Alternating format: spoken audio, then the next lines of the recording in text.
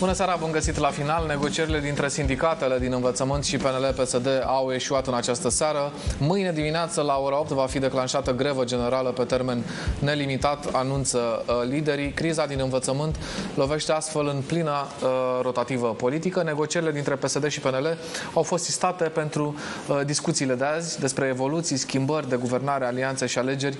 Discutăm la această seară cu un fost premier, actualul membru Reper. Nici măcar președinte Reper nu pot să vă spun, domnule Dacian Cioroș, bună seara. Nu e cazul. Avem copreședinți, avem doi copreședinți, un bărbat și o femeie. O să ajungem la proiectul dumneavoastră politic sau girat de dumneavoastră, noul dumneavoastră proiect uh, politic, Uh, dar uh, aș vrea să rămânem totuși ancorați în uh, momentele acestea, Uh, pentru că toată țara aștepta un rezultat al acestor discuții ca să știe profesorii, părinții, elevii și așa mai departe uh, ce aduce ziua de mâine. Uh, au ieșuat aceste negocieri, cererile uh, sindicatelor nu au fost îndeplinite de politic. Cum vedeți această grevă generală, contextul în care vine ea și uh, cum credeți că se va rezolva până la urmă? Problemele din învățământ nu sunt noi. Uh, Se discută de legea învățământului și profesorii, cadrele didactice au spus de mai multă vreme că înainte de a vorbi sau în paralel cu reforme care sunt prevăzute în sistemul de educație, trebuie uh, rezolvată și problema aceasta salarizării, pentru că au dat ei exemple cu un nivel de salarizare foarte uh, jos, mai ales la intrare în uh, sistemul de învățământ pentru profesori tineri, pentru profesori de care avem nevoie în mediul rural, mai ales în zone defavorizate, Da. în zone dificile. Nu s-a întâmplat lucrul acesta, așa că, sigur, oamenii uh, și-au pus acum problema. Văd că uh, majoritatea noastră stabilă, între ghilimele, despre care vorbim de un an uh, și ceva, uh, e stabilă doar în împărțirea funcțiilor, dar mai puțin în uh, rezultate pe care le așteaptă oamenii. Așa Da. că nu-i surprinzător ce se întâmplă. Uh, Voiam să remarcăm pentru cei de acasă, aceste imagini sunt de la discuțiile de astăzi, doamne și domnilor. Ai- Aveți delegația celor care au participat. Uh, Da, cei doi uh, copreședinți ai acestei alianțe, Marcel Ciolacu, Nicolae Ciucă, premier, uh, Marius Budăi, ministrul uh, muncii, domnul Câciu de la finanțe, doamna Deca de la învățământ în mod evident și domnul Bode probabil în calitate de uh, doctorant, de doctor, că uh, e... uh, Probabil are legătură Da. și cu asta. Uh, secretar general la PNL, nu știu, probleme probabil electorale pe mai departe care vor decurge din această chestiune, altfel nu înțeleg care este rolul și rostul domniei sale. Nu știu, Uh, dar ce ironie, totuși, domnule Cioloș. Politic PNL-ul e cam măturat uh, mai nou de PSD. Văd că PSD-ul face ce vrea cu... uh, Asta e senzația dumneavoastră? Cu, da, da, evident, evident. Mai ales acum, deci au avut un protocol uh, tocmai pentru ca această schimbare de prim-ministri uh, să treacă foarte repede, Mhm. a avut un protocol pe care văd că acum PNL, PSD-ul nu mai vrea să-l uh, respecte. Vor Ajungem și la premier negocierile să politice. și mențină uh, ministere. Uh, văd că acum domnul Ciolacu nu mai vrea să facă schimbarea până când nu se rezolvă problema cumva de genul uh, Nicule, uh, ia tu uh, scaltoacele astea că nu vreau să le duc eu uh, ca început de... Acum, dumneavoastră, Uh, mai, ați mai vrea o tură la Victoria cu niște probleme atât de uh, palpabile, arzătoare pentru agenda publică? Nu cred că ați vrea. Evident, evident, dar noi nu ne-am ferit, uh, știți, și atunci când uh, președintele mi-a dat mandatul în octombrie uh, 2021, mi-a dat mandatul, eu am luat-o foarte în serios. Noi și acum, la mai multe ministere, cred că avem oameni care știu ce ar avea de făcut și am și avut ieșiri publice în care ne-am spus uh, uh, poziția. Dar una e să vrei să guvernezi ca să rezolvi niște probleme și alta e să uh, vrei să guvernezi doar cu gândul la punctele uh, din uh, sondaje și la alegerile din 2024, pentru că ăsta e sentimentul meu cu toată rotativa asta între PNL și PSD, că ei nu sunt concentrați acum pe uh, nevoile uh, din învățământ, din sănătate, pe uh, PNRR, pe Repower EU, deci pe investițiile în uh, energie. Uh, nu sunt preocupați de Schengen, n-am mai auzit după ce au ridicat așteptarea. A fost au- domnul Bode la au ridicat uh, în cap finalul oțean. săptămânii trecute, ne-a vorbit despre uh, președinția spaniolă și despre intensificarea relațiilor cu Da, dar și nu, discuțiilor președin, nu-i cu... treaba președinției spaniole, încă o dată. Da. Uh, În continuare, politicienii noștri vor să lase impresia că problema e la alții, nu la Mhm. noi. Dar noi vrem să intrăm în Schengen, nu Spania să ne bage în Schengen. Corect. Nu vrea, nu știu cine, altcineva să ne bage în Schengen. Noi vrem să intrăm da, în Schengen. Stați puțin, că dacă tot a deschis rana asta, că bă, deja e o rană națională problema cu Schengen, uh, care e explicația pentru acest eșec constant, domnule Cioloș? Nu vor ei sau nu putem noi? Noi nu avem o prezență constantă la nivel european pe astfel de subiecte cheie pentru România. Și aici nu vorbesc doar de subiecte reactive.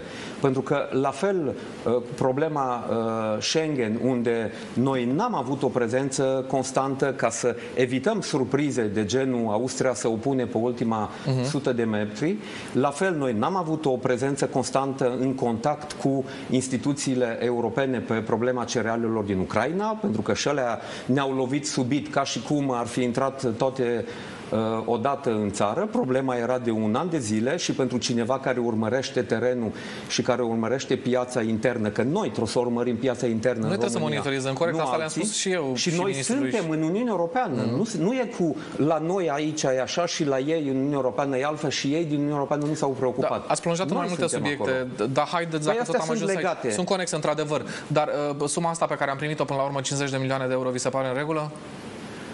Uh, nu mi se pare în regulă. E mică, e mare? Spus, Bun, insuficientă, bun, suficientă? E mică, e mică față de pierderi, dar nici n-au cum să fie compensate toate uh, uh-huh. pierderile.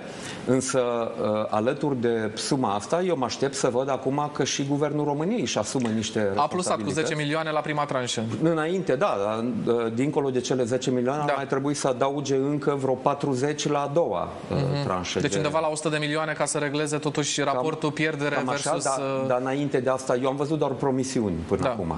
Uh, pentru că înainte de asta trebuie să plătească restanța pe despăgubiri pe secete de anul trecut. Care nu s-a plătit. Care au fost evaluate mm. deja de anul mm. trecut și tot uh, producătorii de cereale în mare parte au fost... Uh, Întorcându-ne la povestea Schengen, domnule Cioloș, cine apreciați că e de vină pentru eșecul României? Pentru că noi, dacă ați văzut, atenția a fost imediat mutată pe Austria, fără a căuta vinovați în interior. Era un bun moment pentru a face o introspecție până la urmă, că ține de politica noastră și de eficiența politicii noastre. Unde vedeți problema? La Maie, la Cotroceni, uh, la nivel guvernamental? Uh, uh, unde a fost problema? Eu văd problema, la nivel diplomatic? Eu, eu văd problema în lipsa de anvergură politică a politicienilor români la nivel european.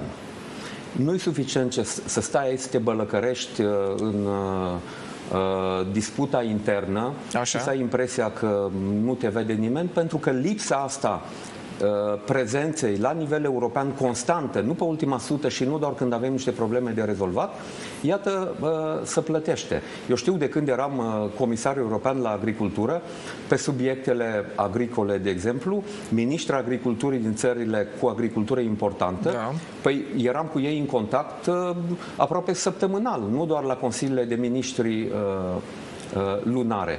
Da. Deci asta ar fi trebuit să fie și nu doar a ministrului de interne și nu doar a ministrului de externe separat, ca apoi unul să poată da vina pe celălalt.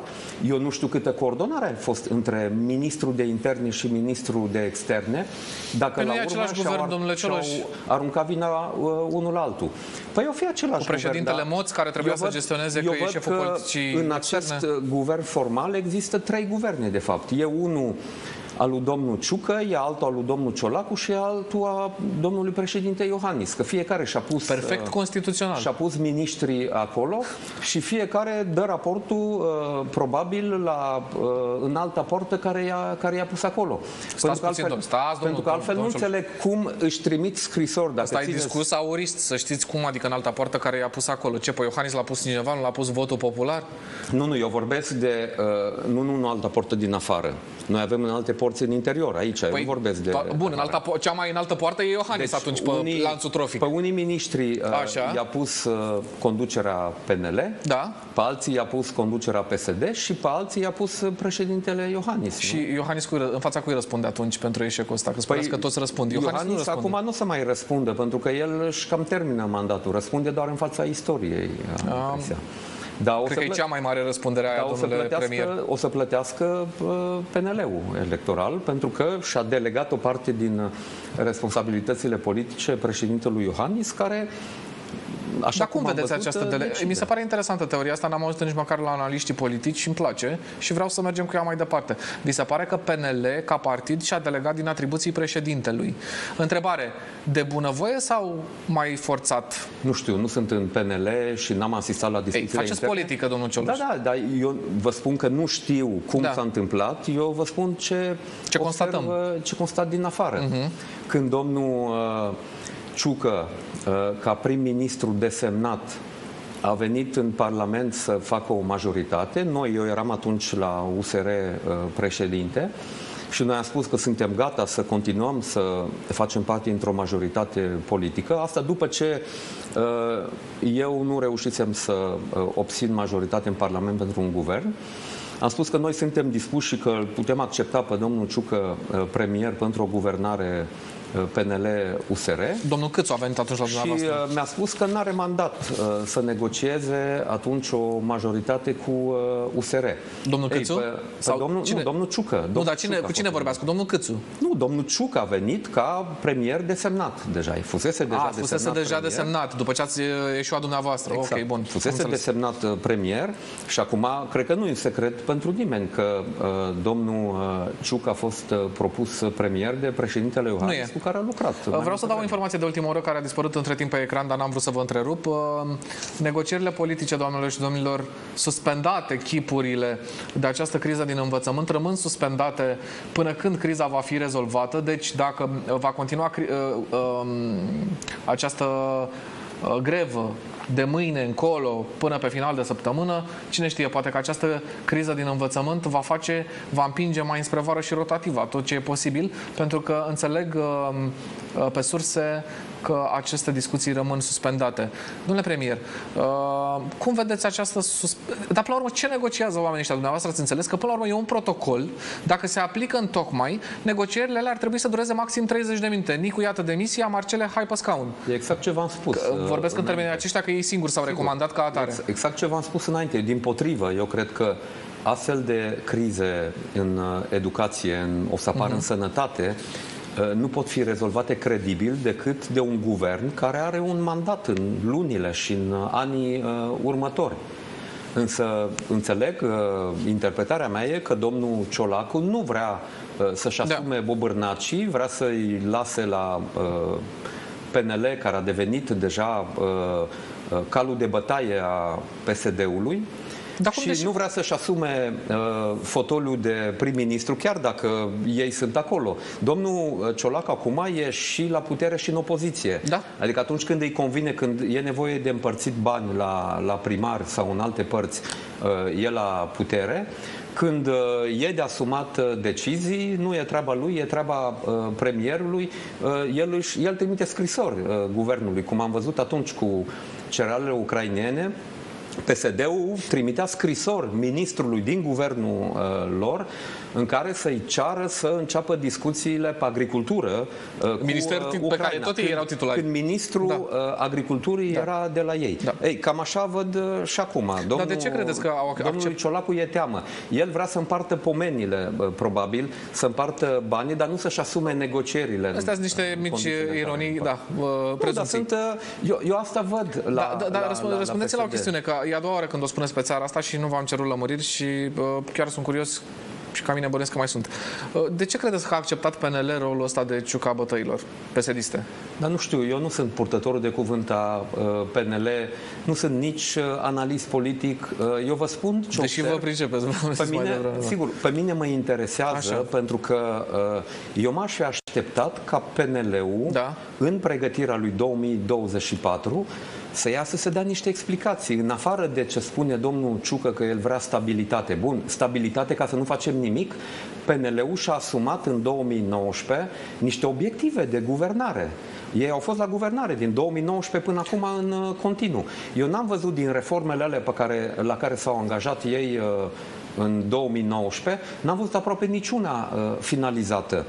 Uh, aștept să văd ce își propune uh, PNL-ul pentru 2024, pentru că Dar una de ce e... vă interesează ce propune PNL pentru 2024? Păi, vă interesează o alianță cu Mă PNL-ul? interesează pentru că pe mine mă interesează ca România să o ia în direcția bună, pro-europeană. Avem așteptare atât de mari de la PNL? Da, de la o parte din uh, oamenii din PNL pe care îi cunosc, eu am așteptări mari. De Trebuie la să... domnul Ciucă aveți așteptări? De la domnul Ciucă nu știu ce așteptări să am, pentru că uh, cu dânsul, cum vă spun, uh, n-am avut ocazia să lucrez decât când era șef de stat major și eu eram uh, uh, premier. Și ce impresie v-a făcut la N-am vremea avut, respectivă? bun, atunci uh, omul ca șef de stat major și-a făcut treaba. Da, atunci am, ordine, uh, execuție, am cam pregătit asta era, cu da. dânsul programul de înzestrare a armatei, dar era general în activitate, era șeful statului major. Da. Acum, ca politician, Da. eu nu prea înțeleg, de fapt, ce vrea PNL-ul dincolo de stabilitatea asta care nu produce nimic bun pentru uh, români, pentru că niciuna din reforme sau din obiectivele politice pe care și le-au propus uh, n-a fost dusă la bun sfârșit sau măcar să ne lase să credem că ar putea fi uh, dusă la bun sfârșit, dar văd, uh, cum vă spun, tot felul de jocuri politice. Deci de asta mă interesează ce face PNL și uh, știu că acolo, în, în, uh, în PNL, sunt niște oameni cu care am mai avut și o discuții. Bun, e uh, Dan Motreanu, cu care mă tot văd la Parlamentul uh, European, uh, e Emil Boc la Cluj, cu care mă văd ca în birou europarlamentar uh, acolo, cu domnul Bolojan, uh, mai discut. Ați enumerat toți oamenii care nu sunt în oameni. conducerea PNL-ului astăzi, domnule Cioloș. Ce să facem? Sunt uh, oameni de referință Sunt, pentru dumneavoastră PNL. vorbiți de oameni care sunt, nu sunt în echipa câștigătoare a lui Claus Iohannis și a lui Nicolae Ciucă. Bun, eu de asta mă întreb, de fapt... Deci sunt ce sprijiniți vrea- ce dizidența vrea din PNL mai degrabă decât Nu știu PNL-ul. dacă e dizidență, pentru că sunt oameni care sunt în conducere, ăștia sunt primari. uh, Sunt primar, nu sunt în uh, conducere. Unul e primar, altul e președinte ce Consiliului sunt, Județean. da. Uh, Dan Motreanu e în conducere, e printre uh, Mă rog. vicepreședinți. Deci, Accidental în enumerarea dumneavoastră, dar restul nu sunt. Cu mare priză uh, electorală cei drept, dar nu sunt în conducerea PNL. Poate că de fapt și deci asta e problema, domnule. Contează ceva Cioloș, decide, dar nu e contează despre ceva PNL decide discuția din seara asta. PNL-ul, Da. Contează ce va decide PNL-ul pentru uh, posibilitățile de construire de majorități politice în 2024. Vorbim imediat despre, dar vreau să Și închidem... pentru mine una e ca România să se ducă într-o direcție europeană și alta e ca România să se ducă uh, cu un discurs populist uh, uh, naționalist și anti-european, așa cum văd că începe să aibă inclusiv PSD-ul. Și PNL-ul cu Aripa Ciucă? La căruța PSD-ului fiind? PNL-ul ăsta nu-l văd, domnul Cristache. Eu nu prea-l văd prezent cu o identitate politică clară. Care PNL? Că de-aia nici nu mai zic Partidul Național Liberal, că nu e liberal. Liberalii sunt în uh, familia politică din care eu fac parte. Ce avem, domnule, astăzi la conducerea Uh, PNL? ei Niște nu unii sunt, nu care au știu, furat blazonul și fug cu el până în oraș? Păi nu știu, nu știu, de asta vă spun. Nu Păi mi-e dacă clar, dumneavoastră nu știți, noi vă dați seama în ce ceață suntem. Bun, nu mi-e, nu mi-e Mă rog, clar noi- uh, noi PNL-ul electoratul. în ce direcție vrea să o ia. Da. Dom'le, da, dincolo de asta, ați invocat relația cu Claus Iohannis mai devreme și deschizând foarte multe paranteze, mă întorc acum la acea paranteză. E președintele care va nominaliza de două ori premier. O dată a fost cu noroc, pentru noastră altă dată fără noroc. O dată ați ajuns premier, altă dată nu. Uh, raportându-vă la același președinte Claus Iohannis pe care îl știți și raportându-vă la valorile politice pe care și etice pe care le-ați exprimat public în anii ăștia de politică, cum apreciați faptul că președintele Claus Iohannis, cu ascendentul lui politic asupra guvernului, uh, a desemnat, a mandatat practic doi oameni asupra cărora planează suspiciuni de plagiat, Ciucă și uh, Bode, să rezolve problema învățământului. Nu, eu nu înțeleg aceste decizii, așa cum Trebuie să n-am apreciați înțeles- ironia. Așa cum, nu, dar nu e ironie. Nu, pur și ironia simplu. situației. Da, pur și simplu nu, nu înțeleg aceste decizii. Încă o dată, dânsul e președinte, are Profesor, un mandat la bază. și uh, probabil că are totdeauna o logică pe baza căreia ia niște uh, decizii, așa cum a avut în 2015 când uh, m-a desemnat uh, premier. Uh, Logica uh, desemnării unor uh, premieri după aceea n-am înțeles-o pentru că dânsul nu doar că și-a făcut campanie, dar a câștigat două uh, mandate cu un uh, discurs de depesedizare a României, cu tot ce presupune De deciuma, depesedizarea.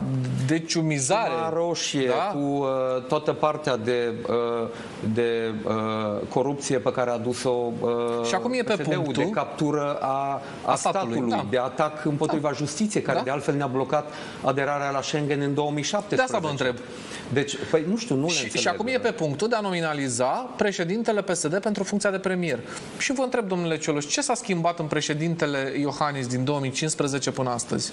Nu știu, am Din impresia perspectiva premierului desemnat de Claus Iohannis, vă că, întreb. am impresia că totul s-a schimbat sau toată logica politică a președintelui Iohannis s-a schimbat față de uh, față de 2014, apoi 2015, uh, 2016, din 2017 încolo, bun, și atunci am înțeles, a câștigat uh, uh, PSD-ul uh, și ei au format uh, majoritatea, dar uh, una e PSD-ul și alta e nominalizarea premierului. În PSD sunt mulți premieri, dar încă o dată, e, sunt deciziile dânsului, evident că suferim toți, ne-am tot spus uh, opinia, uh-huh. dânsul e cel care trebuie să dea explicațiile astea sau dacă va Păi crede tocmai ați spus cuvinte, că nu va mai trebui are să când, le- că va trebui vine să doar le- istoria peste Păi el. nu, da, evident, uh-huh. va trebui să le dea la un moment. Nu știu ce își dorește domnul președinte pentru după, pentru că am impresia că nu are intenția să se retragă din politică. Asta e impresia pe care o vă face? Așa că, uh, da, asta e impresia Din, mea. din politica națională sau din politica europeană? Nu știu, nu știu, încă o dată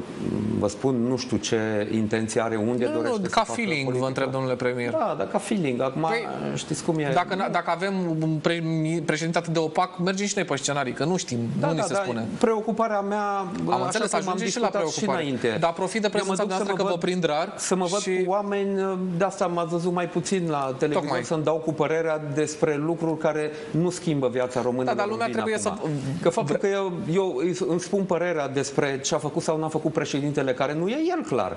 e un om l-aș cu fi care ați văzut- făcut echipă, domnule Cioloș, de asta Da, vă da, da, întrebăm, la ca să vremea înțelegem respect- și noi ce s-a întâmplat. Dar la vremea respectivă am comunicat foarte clar ce uh-huh, discutam uh-huh. cu domnul președinte. Dânsul comunica ce discuta cu mine, deci atunci comunicarea a funcționat. Bine, Acum nu mai o să ajungem și la activitatea noastră politică, dar încă câteva chestiuni de ordin imediat, că e, sunt pe agenda, nu aveți cum să ocolim, nu avem cum să ocolim, de fapt, Sigur, agenda dar încă o dată, ce e important Da. da. acum uh, pe agenda ar fi să avem uh, cu adevărat stabilitate guvernamentală, că acum nu avem. Deja de uh, de Nici cu o lună și 60% ceva, de majoritate vreo în două Parlament luni, n-avem- Nu, nu, nu avem stabilitate în funcționarea guvernului, pentru că atâta vreme cât unii miniștri știu că sunt pe făraș, aș- alții nu știu dacă vor rămâne în guvern și dacă da, cu ce portofoliu vor uh, rămâne.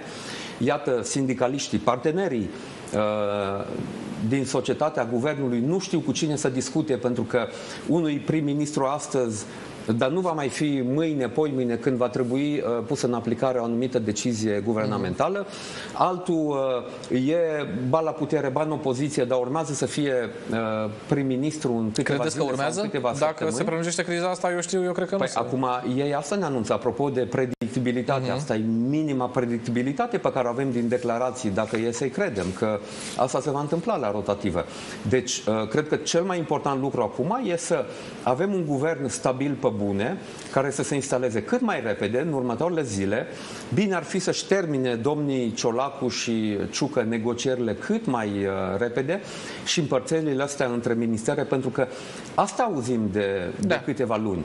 Împărțirile între ministere, nu politici publice, Nu. nu evaluarea aia miniștrilor despre care să tot vorbea când îi mai întreba unii alții, domnule, ce faceți cu miniștrii care au eșuat pe Schengen, ce faceți cu miniștrii care au eșuat pe, pe Ucraina și au zis, facem evaluarea nu acum, ci la În sfârșit. liniște. Asta mi-a spus și mie domnul uh, Ciolacu când l-am sunat să vorbesc de problema cu cerealele ucrainene și am spus că din punctul meu de vedere domnul Daia nu e ministrul momentului, chiar dacă poate să fie el simpatic cu glumele astea așa de, de uh, tătuc, Din lanul de bon porumb, om, da.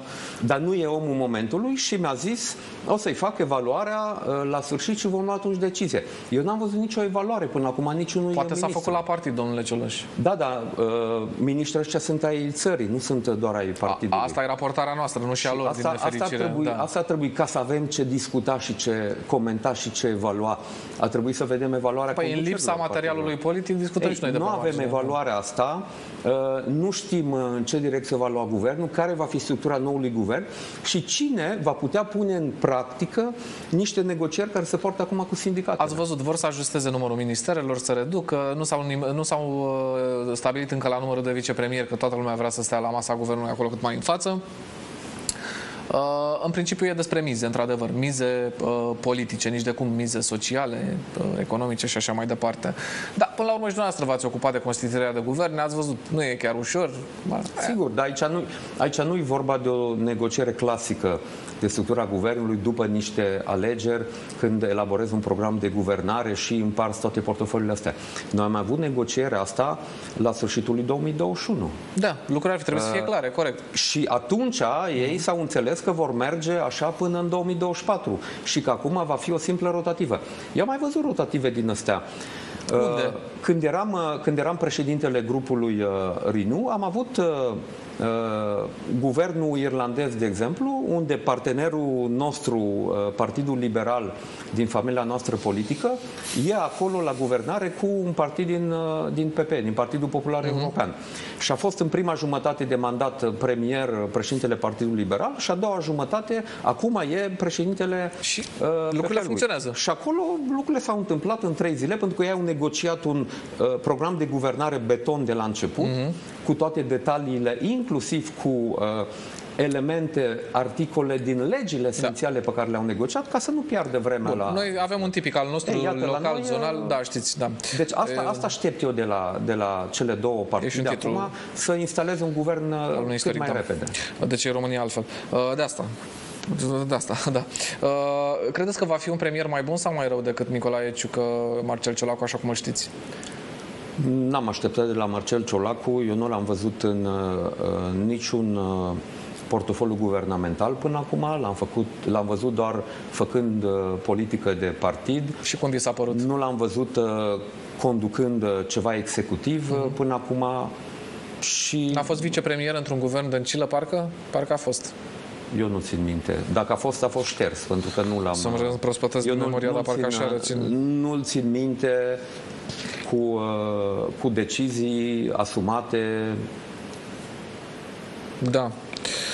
Da, a fost, uite, iată, a fost, ți rețineam bine minte. Da. Uh, da, guvernul Dăncilă... După, uh, după demiterea premierului Sorin Grinea a devenit vicepremier fără portofoliu, exact. A fost la Tudose Ei, două luni. Deci, nu mai țineți minte că a plecat Tudose prea repede.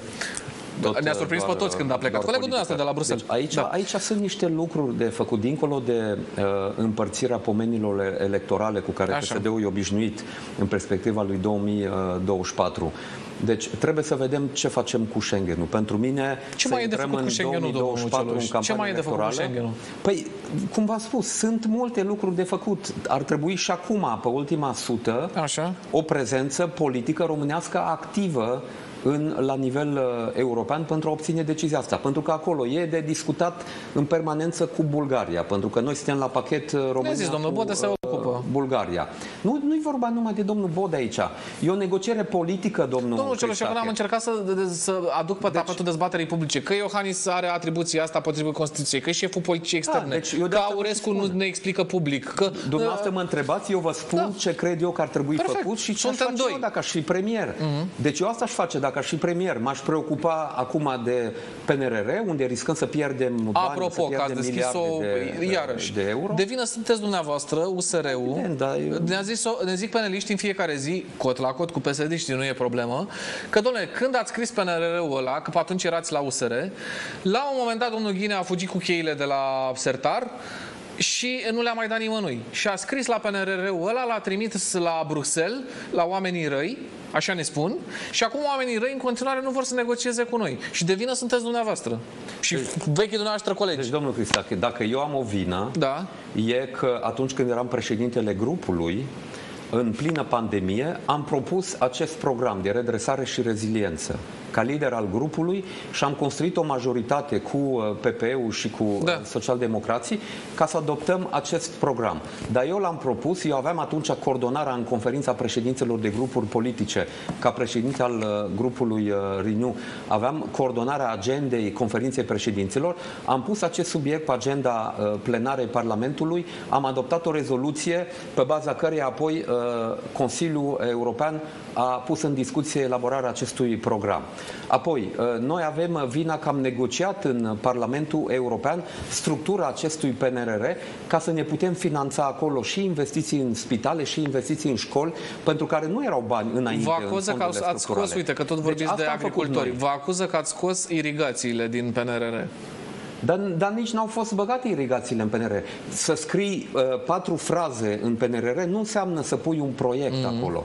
Banii aceștia trebuie folosiți până la sfârșitul lui 2026 ca să pui proiecte de irigații sau de orice alt fel da. de proiecte, Uite, în momentul în care le introduci, trebuie să ai deja proiectele gata elaborate, studii de fezabilitate făcute sau dacă nu studii de fezabilitate făcute, măcar să ai caietul de sarcini mm-hmm. pentru studiile de fezabilitate să le lansezi imediat și ai program aprobat. Va... N-am văzut de la nu. Ministerul Agriculturii al PNL-ului și ulterior al PSD-ului niciunul din astfel de proiecte. Da. Ei scot de la sertar proiecte de acum 20, 30, 40, chiar 50 de uh, ani, cum e canalul Siret Bărăgan, despre care vorbesc populist mm. și politicianist, fără să aibă analize de teren.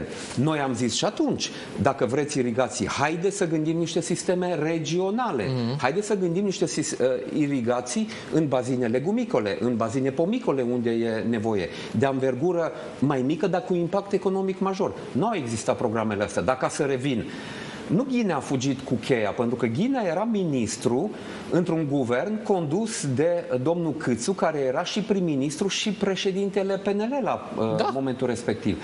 Deci un PNL care și-a asumat un program de Corect. guvernare cu uh, un PNRR element esențial a programului de guvernare și chiar a spus da. când a făcut guvernul cu PSD-ul că va asigura continuitatea PNRR-ului așa cum a fost el negociat. Asumat și negociat deci, și de Claus Iohannis deci, și a, lăudat la vremea respectivă. Deci acolo ei trebuie să dea explicații, nu mea, da. Uh, cheia lui Ghina sau mai știu eu cine sau uh, Bun, dar ei ați văzut cineva. cuvântul electoral astăzi în perspectiva lui 2024, povestea cu pensiile speciale și cu reforma pensiilor și o leagă strict de politicile dumneavoastră chiar abuzive, că ziceau, domnule, noi l-am văzut, da. nu știam ce scriu, nu știam noi ce au trimis abuzat, la Bruxelles. Noi am abuzat de PNL când eram la guvernare, da. insistând, chiar cu amenințarea că ieșim de la guvernare, ca să mergem cu uh, legea privind eliminarea pensiilor speciale în Parlament. Am abuzat uh-huh. și am pus presiune da. pe, pe PNL, într-adevăr. Nu s-a întâmplat nimic. Dar nu s-a întâmplat nimic, da. nu. Ce s-a întâmplat Până e că... și voi de la guvernare. E că da. au adoptat, uh, au adoptat ordonanța aceea de, guvern, uh, de urgență da. cu banii din PNDL ca să mai împarte niște bani Și domnul Celoș, întrebarea mai avea o continuare. Mie mi-e jenă ca cetățean român că ne ducem lunar sau de două ori pe, nu știu, pe lună sau ori de, nu mai știu care e frecvența, când ne-au zăpăcit de cap, noi să încercăm să-i convingem pe oamenii ăia, să mai tăiem, să mai, să mai lipim, să mai decupăm ceva din PNRR. Este absolut jenant. Nu știu dacă mai există vreun precedent în uh, structura Comi- uh, Uniunii Europene cu state care se duc și spun, domnule, nu mai stăm de acord cu guvernul care a condus țara noastră mai acum un an jumate. Nu, sunt, sunt ajustări de PNRR de la mai multe state membre care solicită asta. Dar în mod constant că, și obsesiv ca noi? Pentru că n-au... Pe aceleași subiecte? N-au, pensii, n-au estimat, pensii, pensii? Nu, sunt, sunt uh, ajustări care vin din evoluția Așa Uh, economiei, din uh, Astea da. impactul, da. eu știu, războiul din Ucraina. Cu siguranță, inevitabil. Impactul unor elemente pe care nu le-au estimat la momentul respectiv. Dar la noi am impresia că se tot vântură povestea asta cu renegociem ca să nu facem anumite reforme la care uh, ne-am angajat și pe care noi trebuie să le facem pentru că avem nevoie de ele. Sistemul de pensii din România are nevoie de reformă nu pentru că ne cere uh, Comisia Europeană sau PNRR-ul, ci pentru că e nesustenabil. Nu numai că e nesustenabil din punct de vedere uh, bugetar, dar uh, nu e uh, etic și nu e moral să ai diferențele astea Sigur. de pensii între pensiile mici Uh, și foarte mici și pensiile mari și foarte mari la, la toți speciali ăștia. De asta ai nevoie de reformă. Pe scurt. Deci, domnul Budăi, care uh, să tot plânge că nu are marjă ca să crească uh, pensiile, păi hai să-l văd că reduce în primul rând uh, pensiile mari și foarte mari. Bun, nu le poate pentru că îl împiedică Constituția. Să le impoziteze, să ia alte decizii. Nu vedem deciziile respective. Uh, domnule Cioloș, ce credeți că se va întâmpla? Sunt în stare să compromită PNRR-ul și absorția de fonduri sau vor face până la urmă reforma că nu vor avea încotro? Păi vor face bucăți de reformă, pentru că eu nu-i cred uh, capabil uh, nici uh, PSD-ul și nici uh, PNL-ul să-și asume, să-și asume reforme cap-coadă într-un an uh, preelectoral. Și nu, nu-i cred capabil pentru că dacă păi și ar fi vrut să o facă, da. ar fi făcut-o deja anul ăsta, ca să nu intre în an preelectoral cu, cu decizii ăsta. din astea uh, Și atunci credeți dificile. că uh, cei de la Uniune vor îngădui asemenea lucruri, bucățele? Nu, deci vom, vom, deci pierde vom pierde. Bani. Vom pierde bani. Cât jucăm la ruleta astăzi prostește? Câți bani? Despre ce sume vorbim? Nu pot să estimez Estimativ. acum, pentru că nu știm. Păi o să fie câteva miliarde bune de, de euro. O să fie câteva miliarde bune de euro de care economia noastră are nevoie. Mm-hmm. Dincolo de uh, cifrele macroeconomice, chiar și pentru uh, stabilitate bugetară, pentru uh, uh, puterea leului, e nevoie să intre uh, acești bani uh, euro în uh, România. Dincolo de asta, noi avem nevoie de bani ăștia în economie, avem nevoie de investițiile astea. Uh, nu există soluții miracol la, miracol la problemele pe care le avem de rezolvat în educație, în uh, sănătate, în uh, problemele astea sociale pe care le avem, care nu se văd la televizor. Eu văd ONG-uri asociații, organizații neguvernamentale, oameni de bună credință care uh, se ocupă să rezolve probleme care sunt le- legal și constituțional în responsabilitatea statului. Văd oameni nevoiași adunați de pe stradă, nu de centre Uh, uh, sociale ale guvernului sau administrației publice locale, ci de uh, ONG-uri. Ba mai mult, statul se duce peste ONG-urile astea pentru că nu cumva ele să fie finanțate de Soros și să, să trădează națiunea. Când ONG-urile astea construiesc spitale și nu e vorba doar de spitalul de la București, care e cel mai bine Bun, știți dumneavoastră că sunt ONG-uri și ONG-uri aici, dacă Am văzut discuția... la Arad, acum mai nou, Spitalul Județean de Pediatrie, Acolo s-au mm. renovat nouă secții ale Spitalului Județean de uh, Pediatrie de către o organizație da. neguvernamentală, Cetatea Voluntarilor, cu bani din donații private. Ei, dar lăsați că ați văzut altele ONG-uri, într-adevăr, unele sunt, uh, fac lucruri sfinte, alte ONG-uri se ocupă cu schimbat miniștri, cu pus presiune. Ați văzut Sigur, eu uh, vorbesc... cu doamna Gușet, pe care la un moment dat ați propus-o. Eu, eu vorbesc, da. e nevoie și de organizații da. neguvernamentale da. ca avertizori uh-huh. și care să spună opinia legată da, de ce se Gușet, ce ziceți de interceptările la Dar care eu vorbesc de organizațiile astea neguvernamentale uh, care acționează pe teren și care țin uh, pe linia de plutire statul ăsta. Uh, despre, despre asta nu prea vorbim, că nu avem... Da. De doamna Gușet, ce părere aveți despre acele interceptări care au ieșit public dumneavoastră? sa? Mai țineți minte? Ați văzut? Sunteți la curent nu cu subiectul? Nu, nu, nu, nu, Că a fost propunerea noastră de Ministrul Justiției da, da, da, în 2015? Sigur, a fost o, un dosar cu niște interceptări care au ieșit public. Doamna Gușet e foarte activă și acum. Da. A fost chiar, m-am întâlnit cu dânsa când a venit într-o vizită în Parlamentul European cu un uh, grup de uh, jurnaliști, jurnaliști locali uh, mai ales. De aici? Din România, da. A, venise doamna Gușet. Da, păi tot cu niște da. jurnaliști era și în interceptări. Punea la, avea o rețea, punea presiune pe un judecător de la CSM. Da, nu știu ce presiune poate să pună o președinte a unei organizații neguvernamentale. Păi tocmai, era, cu, DNA, era cu niște procurori, cu niște serios. jurnaliști. Și, deci, da, din cauza... De, hai să fim serioși, din cauza ONG-urilor uh, uh, nu funcționează justiția, din cauza ONG-urilor nu face treaba guvernul. Nu, domnul Cioloș, da. unii fac spitale și foarte bine că le fac, alții fac da, alte sunt, lucruri. Dar mediul neguvernamental înseamnă multe lucruri. Sigur că da, și lucruri înseamnă, sănătoase și mai... Înseamnă asta nu înseamnă să glorificăm... cu statul, cu administrația publică, da. înseamnă și relația cu oamenii nevoiași. Avem uh, ONG-uri care se ocupă și de educație și A, nu, e nu, foarte nu. bine. Să nu le blamăm în mod asta. egal, da. cu siguranță. Pe alea care așa, să ne fim atenți. Um, Vreau să-mi povestiți despre USR, domnule Cioloș, pentru că public uh, cred că nu s-a închis de tot povestea asta, mai ales dacă e să ne uităm la ultima declarație a actualului președinte USR, făcută la colegul meu, Sebastian Zacman, uh, la Insider Politic. 30 uh, de secunde, cred că are declarația. E despre dumneavoastră și vreau să vă arăt. Am văzut că ați scris ceva pe Facebook, dar am o întrebare. Haideți să-l auzim pe domnul Drulă. Prefer să venim cu cea mai bună soluție pentru uh, România. Asta mă, mă preocupă. Domnul Cioloș, aici în poza alături de doamna și poate fi o soluție pentru prezidențiale? Nu cred. Nu, nu credeți? Nu. Nu, adică nu că nu cred, sunt sigur că nu. Dar de unde această siguranță? Pentru că domnul Cioloș, prin acțiunile politice din ultimii ani, a fost un antilider și România are nevoie de un lider. Nu are nevoie de cineva care abdică, care renunță, care face mofturi, uh, care se construiește pe sine și uh, un, un lider de țară trebuie să fie generos și proiectul său nu poate fi sinele. Da? Când proiectul tău ești tu însuți, uh, nu, nu e bine. Ce e asta? Nu știu ce e. Întrebați-l uh, pe domnul Drulă. Eu n-am ce să... Păi nu, vă face un portret Ce vă public. spun? Adică nu putea să zică, domnule, eu am fost coleg, eu îi mulțumim pentru așa și la revedere. Dar uh, responsabilitatea declarațiilor domnului Drulă e la domnul Drulă, nu e la mine. Bun, atunci vă întreb dacă nu. Sunteți Da, un deci anti-lider, puteți să mă construiți întrebați. sinele, vă, vă Păi- puneți po- politica ego-ului mai presus de politica partidului? Am întrebări, domnul Cioloș. nu vă Deci, faceți că nu dacă le-ați înțeles. anti-lider înseamnă să aduci oameni, inclusiv pe domnul Drulă, pe domnul Barna, pe domnul Ghinea și așa mai departe, să-i aduci, să le oferi oportunitatea de a lucra într-un guvern, de unde apoi să intre în uh, politică, să crească într-un uh, partid, dacă anti-lider înseamnă să le propui un uh, parteneriat, inclusiv o, o fuziune ca să construim un proiect uh, uh, împreună, dacă anti-lider uh, înseamnă să mergi să-i susții în uh, campanie, uh, pentru uh, parlamentare, pentru locale, pe unii dintre ei, atunci îmi, asi- îmi asum această definiție a anti-liderului. Da, pentru mine asta a însemnat implicarea în uh, politică, să aduc oameni lângă mine, să le permit uh, să crească. Iată, mulți dintre ei și-au asumat responsabilități politice da. și foarte bine au uh, făcut.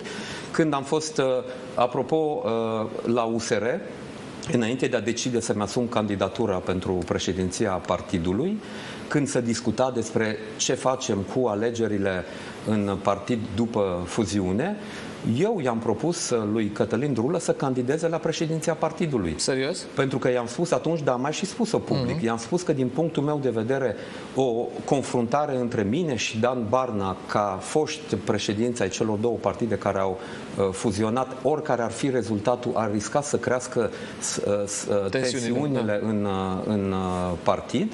I-am propus lui Cătălin Drulă, așa cum le-am sugerat și altor colegi să candideze și de la USR și de la Plus, dar Cătălin Drulă era atunci ministrul transporturilor Da. și am spus, uite, ai rezultate la Ministerul uh, Transporturilor, ești în conducerea partidului, da, uite, eu, eu cred că chiar te-aș putea susține dacă tu îți prezinți uh, candidatura. N-a vrut să uh, candideze atunci pentru că nu i-a dat voie tabăra din care făcea parte. Uh, Pe care tabără? Că văd s-ar că tot fi- cu domnul Barna e, tot da, cu... da, da, aceea, A, acea, aceeași. acea tabără, pentru că Dan Barna era și el candidat. Și în tabără acolo s-ar fi considerat o trădare, pentru că, din păcate, așa au funcționat lucrurile multă vreme în, și uh, în acel partid după fuziune, pe, uh, pe tabere, pe împărțirea teritoriului. Uh, Nu e proiectul în care eu credeam. Și Da. eu am spus de la început, dacă, dacă îmi doream să lucrăm separat, nu mai propuneam uh, fuziunea. Dacă A, ei deci nu s-a doreau să reușit continuăm- niciodată unificarea Dacă celor ei își două- doreau să continuăm să lucrăm separat, uh, n-ar fi propus nici ei fuziunea și am fi putut continua în alianță, așa cum uh, mulți colegi din Plus uh, și-ar fi dorit. Uh, Eu mi-am dorit fuziunea pentru că mi-am dorit să putem lucra în echipă. Și ăsta e modul uh, uh, în care eu am abordat lucrurile după ce am câștigat președinția partidului. Eu n-am vrut să lucrăm uh, cu un teritoriu în partid uh, împărțit între tu, președinte, că ai câștigat pe de-o parte, și noi, majoritatea din, bene, din uh, Biroul Național, pentru că am câștigat majoritatea pe de altă parte și uh, ne înțelegem și ne târguim uh, uh, pe tot ce decidem. Nu asta e parteneriatul uh, pentru mine. Deci uh, asta e viziunea mea uh, pentru politică. Uh, nu e vorba de persoana mea. Dovada, iată, uh, mi-ați, m-ați întrebat mirat uh, ce funcție am în, uh, Da, în reper. uh, Nu credeam am că- nicio funcție tocmai pentru ca lucrurile să fie foarte clare, că nu doresc un proiect în jurul persoanei mele. Mhm. Uh, Eu n-am, uh, n- n-am intrat în într-un partid politic ca să mă construiesc pe mine însumi. Eu fusesem deja comisar european și fusesem prim-ministru înainte de a intra într-un partid Așa politic. Eu n-am nevoie de o funcție într-un partid politic ca să exist uh, politic. Am intrat ca să pot construi cu niște oameni. Asta mi-am dorit și la Plus, asta mi-am dorit și la USR, Da. asta îmi doresc uh, și acum. Vă grăbesc un pic că suntem- deci, da, vreau să am o deci întrebare. domnul, domnul Drulă are o viziune a dânsului despre politică, nu e viziunea uh, mea pe uh, ce e de făcut în România, pe proiectul România. Cred că în proporție de peste 90% ne înțelegem și Sunteți suntem în continuare aliniați. compatibili. Da, adică eu n-am văzut în declarațiile Mhm. mm-hmm. lor, chiar și de când nu mai sunt în USR, uh, lucruri, propuneri, Da, asta aici va- proiecte Domn- uh, domnul cu Cioloș, care, pe care să nu le Eu pot ca un susține. observator destul de atent la scena politică, vă mărturisesc că n-am reușit să înțeleg și nici să găsesc vreo explicație uh, foarte exactă a gestului dumneavoastră de demisie.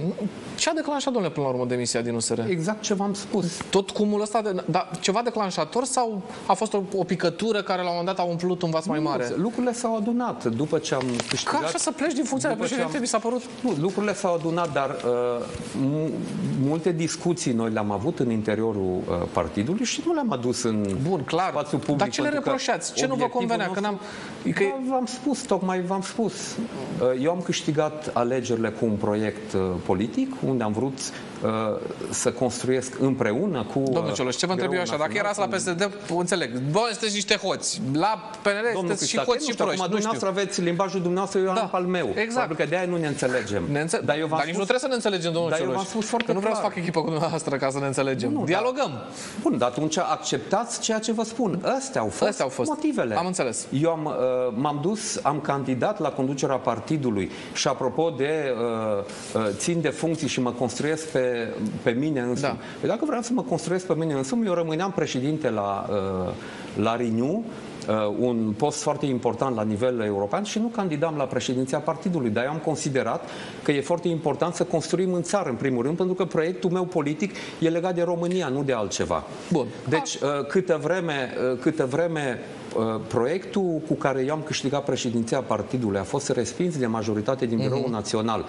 Biroul, majoritatea din Biroul Național nu și-a dorit deschiderea partidului spre uh, exterior. Noi ne propuneam atunci să uh, construim un guvern din umbră, unde, din punctul meu de vedere, uh, ar fi trebuit să creăm oportunitatea de a atrage oameni care nu erau membri de partid, dar care ne susțineau proiectul, să vină să se, uh, să se implice. N-am avut uh, susținerea asta. Uh, Nu s-a vrut, uh, majoritatea din BN nu și-a dorit uh, un lucru în echipă, ci o împărțire mai degrabă a teritoriului în, în partid. Genul acesta de uh, uh, fel de a se raporta la putere, unde uh, puterea înseamnă să-l uh, distrugi sau să-l dai la o parte pe uh, celălalt, unde uh, acțiunea politică înseamnă confruntare permanentă și nu uh, construcție, Am înțeles. unde odată ce ai intrat în partid, chiar dacă vii din societatea civilă, odată ce ai intrat în partid, ai închis uh, partidul și nu mai vrei uh, să accepti oameni din afară pentru că îți fac uh, concurență, nu ăsta e uh, obiectivul pentru care eu am intrat într-un partid politic și atunci nu aveam de ce să rămân într-un loc unde eu nu mă puteam exprima uh, politic. Patru minute pe, pe, până la final, domnule uh, Cioloș. Și atunci, proiectul dumneavoastră politic pentru viitor, pentru 2024, gravitează în jurul acestei structuri pe care o girați. Astăzi nu o conduceți. Reper. Nu, proiectul meu politic Așa. gravitează în continuare în jurul a ceea ce se întâmplă în România. Am înțeles. Da. Și dincolo de ce pot eu să fac ca politician, care, apropo, de când sunt membru a unui partid uh, politic, îmi pierd încrederea. Sunt oameni care discutau mult mai deschis cu mine când nu eram într-un partid politic, decât discut acum pentru că sunt politician. Avantaje și Pentru că- dezavantaje, domnule Pentru Cioloș. că aparțin unei clase politice care și-a pierdut aproape total credibilitatea în societatea românească. Și când te duci și spui că tu ca politician, eu ca europarlamentar acum, uh, vreau să fac niște lucruri, că mă duc să discut Da. cu oamenii pe teren, unii uh, îmi spun, da, ce, a început campania electorală? Văd în comentarii. De ce te duci pe teren? Că a început campania electorală? Când nu, când nu te duci pe teren? Uite, domnule, stau acolo în birouri numai uh, și nu se interesează de ce se întâmplă pe teren. Deci, indiferent de ce spun unii sau alții, în continuare, proiectul meu politic e în România. Eu cred că România poate fi modernizată dincolo de ce pot face partidele politice, cu scoaterea la lumină și cu uh, formalizarea unui parteneriat între ce fac uh, antreprenorii, ce fac organizații neguvernamentale pe teren și uh, ce ar trebui să facă un stat modernizat. Dar întâi, statul ăsta ar trebui să se reformeze, Uh, politicienii ar trebui uh, să-și definească niște obiective credibile în fața electoratului și nu doar de uh, dragul de a câștiga niște voturi. Adică asta înseamnă că niște proiecte pe care tu le anunți în campanie și de care să te ții. Noi când am spus că vrem să reformăm pensiile speciale, să reformăm administrația publică, noi în continuare uh-huh. vorbim despre asta și asta propunem. Nu vedem asta la partenerii noștri. Pare că vă construiți o platformă uh, pentru prezidențiale. Vă gândiți la prezidențiale în 2024, domnule Cioloș? Uh, domnul Cristache, vi se pare că în ceea ce spun eu acum e Dar nu zic că nu sunt lucruri de bun simț. Nu, ascultați-mă, nu, care e întrebarea da. mea. Uh, vi se pare că în ceea ce spun eu acum e o diferență comparativ cu ce am spus eu în 2020, când n-am candidat mm. la prezidențiale sau uh, de atunci încolo?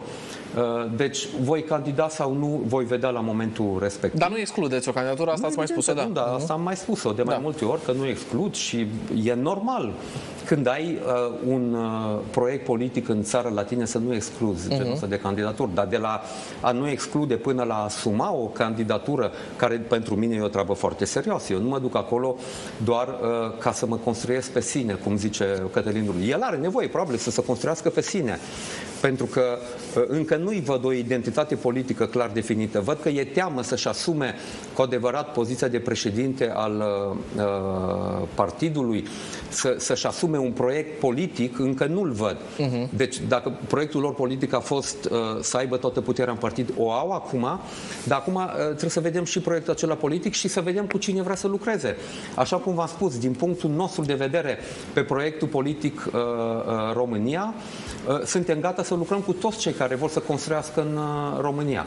Și deci uh, ăsta e și proiectul meu. Vă mulțumesc, domnule uh, Celor, și succes pe mai departe cu ce ne-ați spus. Vă aștept pe dumneavoastră după o scurtă pauză. Rămâneți alături de noi.